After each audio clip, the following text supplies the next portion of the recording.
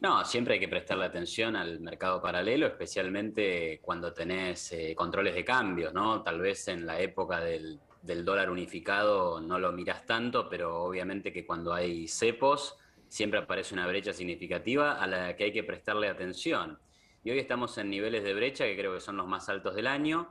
Mm, tal te diría que tal vez no es que me llame la atención que el precio del dólar suba en el mercado marginal.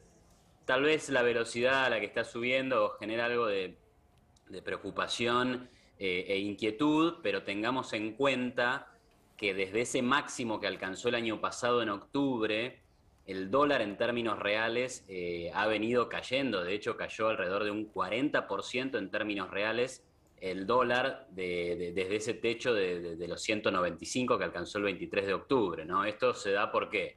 porque cayó nominalmente desde 195, pero además tuviste una inflación acumulada de alrededor del 38-40% en ese mismo lapso. Entonces obviamente que si el dólar sube, bueno, eso también puede estar indicando, al menos uno de los motivos que explican esto es que está acompañando en algo la inflación. Sí, eh, ¿vos crees que es trasladable a precios en parte lo que ha sucedido? Porque el gobierno está envalentonado en tabicar los aumentos en los precios regulados, tarifas, servicios, etcétera, y en decirle a los proveedores de alimentos y a las empresas más importantes, todo aumento tiene que estar por debajo del dígito de acá a fin de año, sin duda, si es que hay autorización.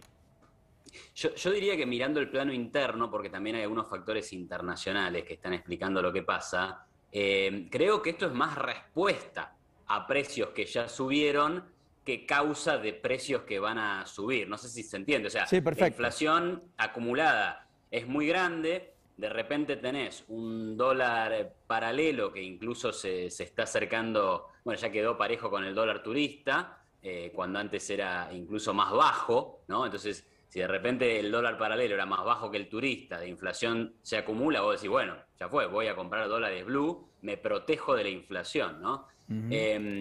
Ahora después, eh, claro, mencionabas este tema de, manipular precios, por lo menos de acá las elecciones. Bueno, todo el esquema del control cambiario, es decir, fijar un tipo de cambio oficial, a través del cual pasan todas las transacciones comerciales internacionales, es un gran esquema de fijación de precios. Es decir, todos los productos que se exportan y se importan en la Argentina están controlados por el gobierno gracias a ese ancla o a ese control y dominio que tiene sobre el dólar oficial, al que va aumentando en los últimos 6-7 meses, muy por debajo de, la inflación que tenemos, ¿no? Entonces, ya eso opera como un control de precios, así como operan eh, las tarifas congeladas y los precios cuidados del supermercado. ¿no? Hoy habló mm, el zorrito Quintiero, Bon Quintiero. Eh, bon Quinteiro. Quinteiro, ¿qué dije? Quintiero. Eh, respecto a un concepto que se empezó a utilizar cuando él cerró el restaurante, ¿no es cierto? Sintió que estaba agobiado por las deudas, etcétera. De la Pimedemia, ¿se llama? Pimedemia. No, entonces me anotaron mal acá. Pimedemia, eso. No lo quería utilizar porque me parece poco feliz, digamos, el concepto, pero no importa. Es la idea de que la pandemia le pegó a la pyme, lo voy a traducir, mucho más que a la gran empresa que tiene una espalda financiera donde puede aguantar de un lugar diferente. ¿Sentís que algo de eso hay?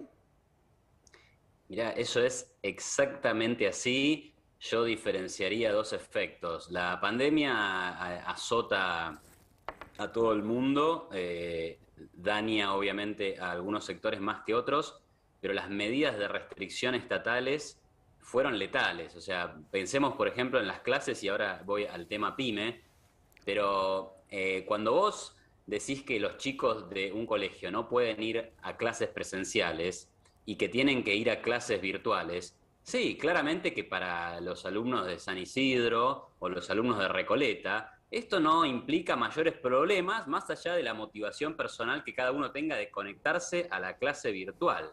Ahora, con chicos que viven en un cuarto compartiendo con tres hermanos, que no tienen tal vez ni, dos o tres celulares como para distribuirse entre los hermanos, no tienen conexión a Internet, evidentemente las restricciones le pegan mucho más a aquellos que no están preparados económicamente que a los que están sobrados económicamente. Y lo mismo puede trasladarse a la situación de las empresas chicas y medianas respecto de las más grandes. O sea, esta idea de vamos a cerrar los bares, la gente no puede salir a, tomar algo, tenemos que hacer todo por delivery, sonaba muy lindo en, la libreta de anotaciones y de soluciones perfectas al coronavirus, pero la verdad es que lo que termina pasando es que aquella empresa que estaba con un poco menos de espalda, que estaba llegando más ajustada, bueno, obviamente que no tuvo más opción que cerrar, digamos, la cantidad de negocios que han cerrado, eh, alrededor de 90.000, ¿no? De acuerdo con datos de la Cámara de, de la Cámara de, de, Mediana Empresa.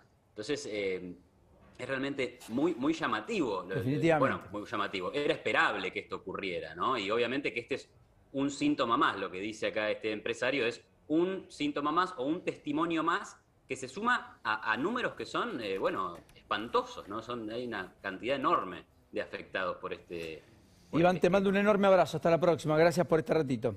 Cuídate mucho. Un abrazo grande. Ahí estaba Iván Carrino. Eh,